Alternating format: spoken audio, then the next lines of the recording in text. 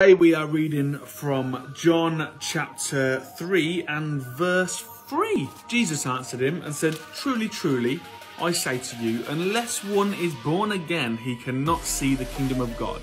Essentially, in this moment, what we see is a guy who is religious coming to Jesus and saying, I want to know more. And Jesus' reply is quite simple in some respects. He turns around and says, I need you to die to your old self, die to your old religion, die to your old worldview, and choose to be reborn with a fresh mindset. In the original language in the Bible, there was this wonderful word, metanoia, which we often translate as repent. In the army, repent means to turn 180 degrees and start going in the opposite direction.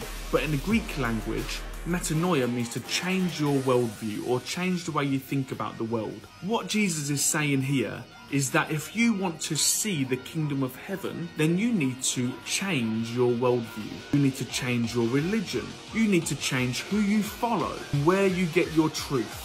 As I explained yesterday, we need to start this journey by acknowledging that we've done stuff wrong and put our sin onto Jesus so that in dying he kills our sin.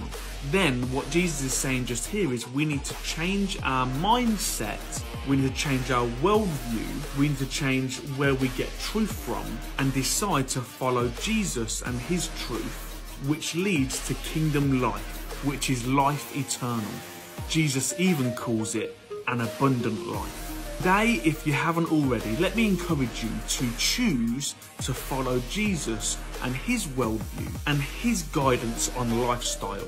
And let's make him our source of truth as we follow him to heaven. Let's be born again. See you next week.